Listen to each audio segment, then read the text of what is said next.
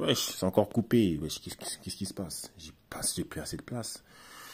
Bon bref, donc c'est par rapport au noir là, là, je vais poster sa vidéo, il m'a énervé. C'est ça le résultat de 400 ans d'esclavage. Avec ce genre de noir là, on peut pas évoluer. Même si soi-disant que ça vous saoule quand vous posez ce genre de questions, dites-vous on a compris, on le sait. Au vu de notre couleur de peau, on sait qu'on est affilié, on est lié, qu'on le veut ou pas, à l'Afrique. C'est bon, on a compris, on le sait.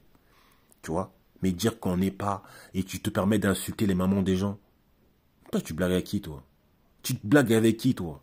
Genre cette question, même si ça te fatigue, c'est la question parce que la plupart de certains, ils sont dans l'ignorance. Mais on vous rappelle juste un fait. Mais non, c'est tout, c'est pas grave, il n'y a pas de problème. C'est comme un blanc.